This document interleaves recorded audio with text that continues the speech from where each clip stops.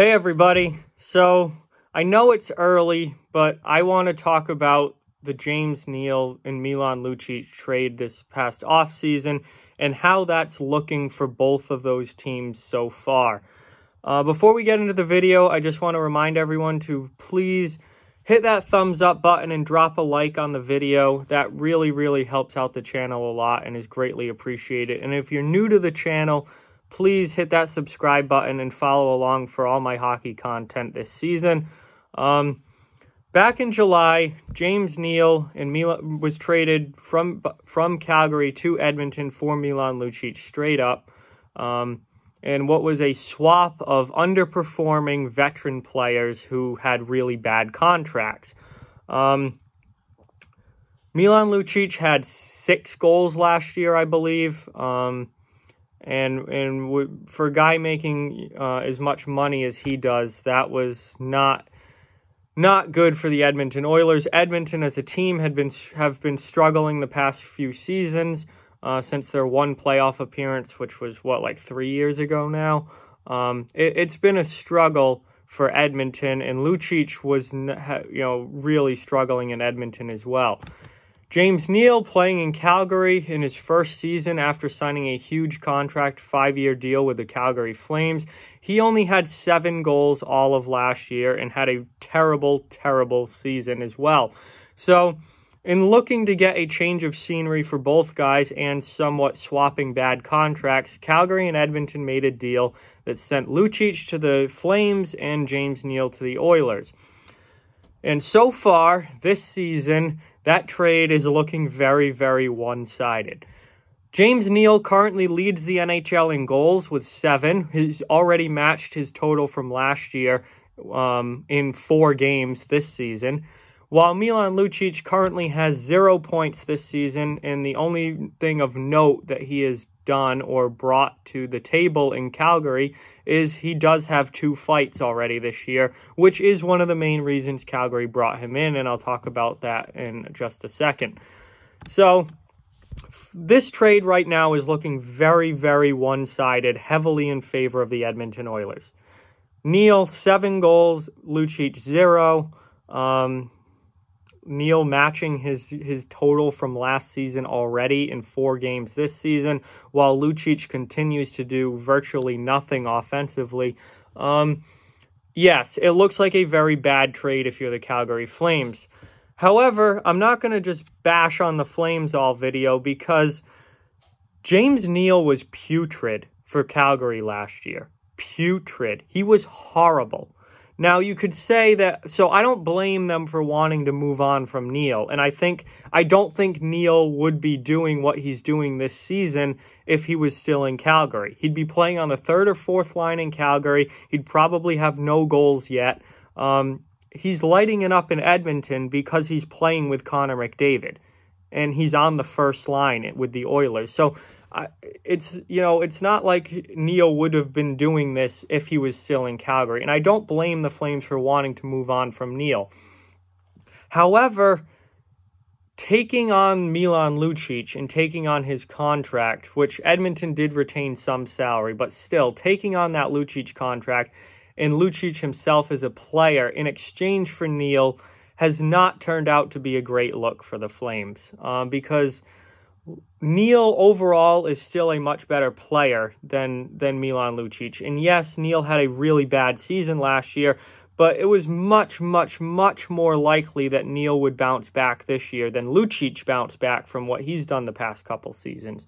Um, so, you know, and, and it's it's been an all around all around win for Edmonton. It, I, some things have been good for Calgary, some things haven't. This trade has been an all out win for the Edmonton Oilers. They've got rid of Lucic, which was huge.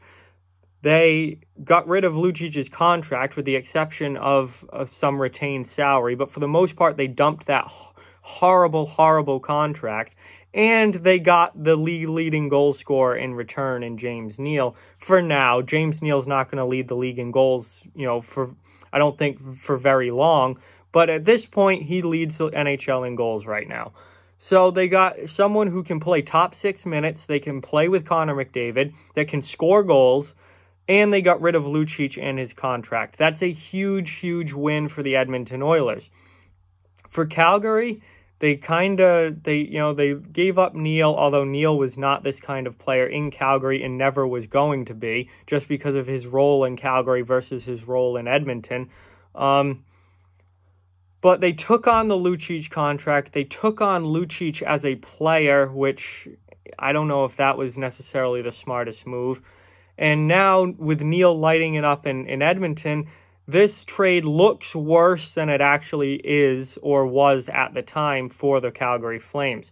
Now, one thing that the Flames did benefit from with this is toughness, and I said I was going to talk about that later. Lucic has two fights already. He's he protects his teammates. He's a big physical guy, and quite honestly, Calgary needed that. Uh, they needed to add to their, their physicality. They needed to add to their toughness. They lost Garnet Hathaway, who was kind of a fourth line grinder, semi tough guy, to the Washington Capitals in free agency. And if they didn't bring in someone like Milan Lucic, um, you know, that was going to put a lot of, of fighting stress on Travis Hamonic and Sam Bennett that was going to put a lot of toughness and protecting your teammate stress on on Travis Hamonic and and uh, Sam Bennett. And Hamonic's a big guy. He's a good, tough defenseman, but he doesn't fight a whole lot. And he actually missed a good chunk of last season, early last year, because he got injured in a fight with Erik Gudbranson. Um, you know, Hamonic's not a guy that that the Flames want fighting six or seven times a year. If he drops the gloves three times or four times, that's fine. But you don't want him fighting, you know, six or seven times a year. Same with Sam Bennett. Sam Bennett has shown that he's a very tough kid. Uh, he's not afraid to stick up for his teammates. He's not the biggest guy, but he's certainly not afraid to get involved physically. But again, you don't want Sam Bennett fighting seven times a season. You want him more in that three to four range.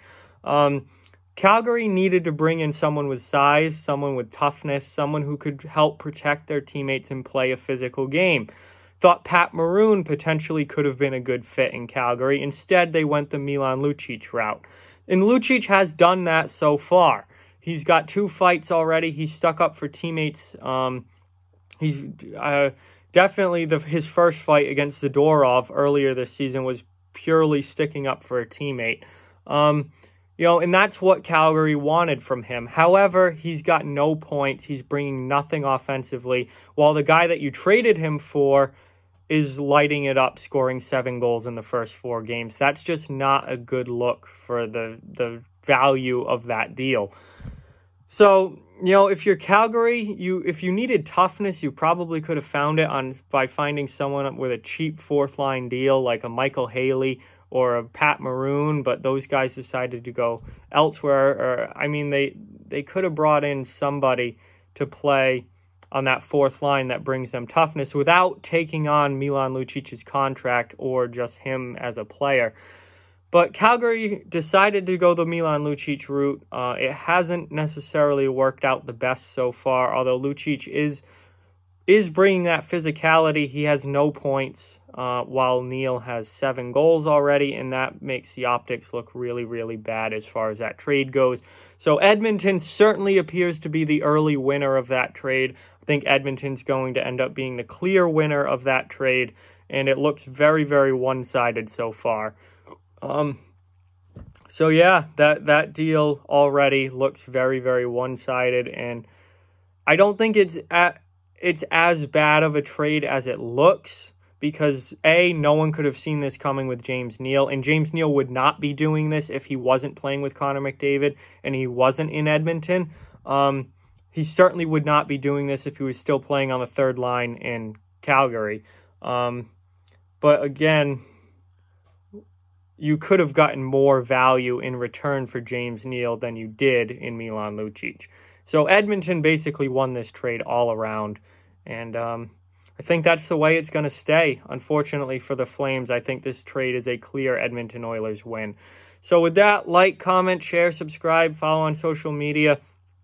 All those links are down in the description below. If you'd like to further support the channel, the links to our Patreon and merchandise store are down in the description as well. Keep spreading the word about this channel. Let's keep this thing growing. Thank you very much for watching. Hope you enjoyed the video, and I'll talk to you guys soon.